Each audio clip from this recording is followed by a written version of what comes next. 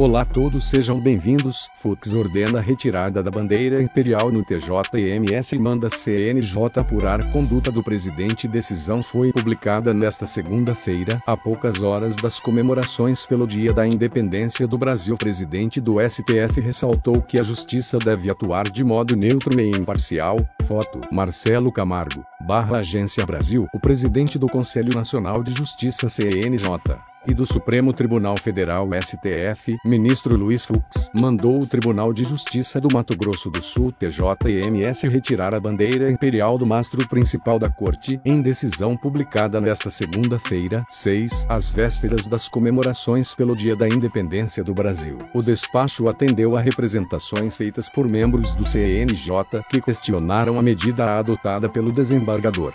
Carlos Eduardo Contar, presidente do TJMS. O desembargador havia determinado o asseamento da bandeira entre os dias 6 e 10 de setembro, como forma de celebração e alusão ao Dia da Independência. Símbolo do período colonial, a bandeira imperial vigorou de 1822 a 1889, entre a chegada da família real portuguesa ao Brasil e a declaração da República. Constituída de fundo verde e losango amarelo, a bandeira tem no centro um brasão que representa a Casa Imperial do Brasil. Em sua decisão, Fux considerou que a utilização da bandeira não tem conexão com os símbolos oficiais do Poder Judiciário brasileiro. O ministro ainda ressaltou a importância da justiça atuar com neutralidade e imparcialidade. A manutenção da situação relatada tende a causar confusão na população acerca do papel constitucional e institucional do Poder Judiciário, na medida em que o Tribunal de Justiça de Mato Grosso do Sul pretende diminuir os símbolos da República Federativa do Brasil, argumentou o chefe do Judiciário brasileiro em seu despacho. Fux ainda determinou que os autos da decisão sejam enviados serão à Corregedoria Nacional de Justiça a fim de que seja apurada eventual responsabilidade